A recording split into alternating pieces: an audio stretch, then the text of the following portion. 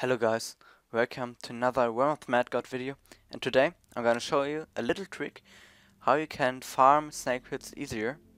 Um, yeah, because many people um, think uh, like that the ninja is the best class to farm the snake pits but with this little trick a friend of me um, told me um, you're able to see or to really um, farm them constantly if you just have one group of ogres. I don't know if you um, already had the situation that these uh, midlands is totally empty and if you just find one of these groups because there's only like a 10% or 20% chance that some snake pit drop um, if you only find one of these groups, you can kill the uh, the Ogre King who drops the snake pit, cloak you, and then all these minions um, will lead you to the next king.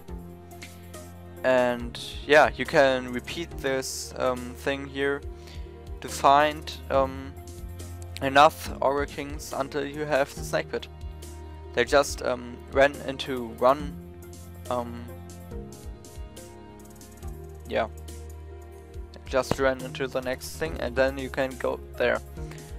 So yeah, I know if you didn't knew this trick, I guess it will be helpful. If not, uh, if you already knew this trick, then I'm sorry that you that I bother you with that.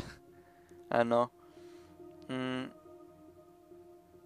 Yeah, that's it. I'll um farm some more of them and then I will just cut it to there uh, to the end of that because I don't wanna um, upload only uh, only two minute video. So yeah.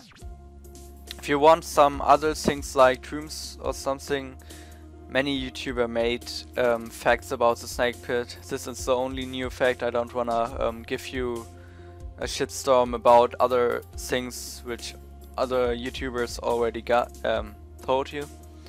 So um, yeah, if you want something like that, um, again, that I show you little tricks you may not knew, then uh, tell me that. I got some uh, more tricks. And yeah, bye, see ya.